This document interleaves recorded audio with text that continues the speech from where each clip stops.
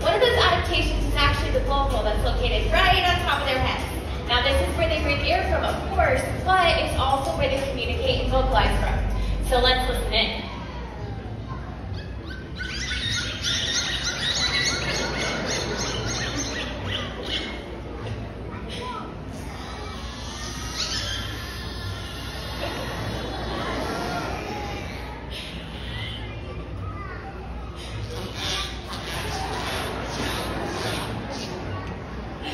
Now, dolphins are required to hold their breath as they forage for their prey, which largely consists of fish, squid, and even the occasional crustacean. Now, to catch fast-moving and slippery fish, dolphins like Phil will use their powerful tails to reach speeds of 22 miles per hour.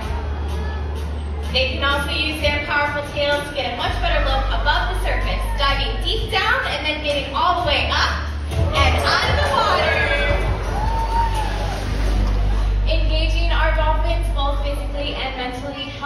us give them the best care possible and provides exceptional animal welfare. Now through this care we develop bonds and we build relationships with them, much like we might with a dog at home. But while dolphins seem to be natural athletes, it's actually our mutual love of play that provides that connection between us. And over the last 50 plus years, SeaWorld has learned that their play ultimately leads to our discoveries.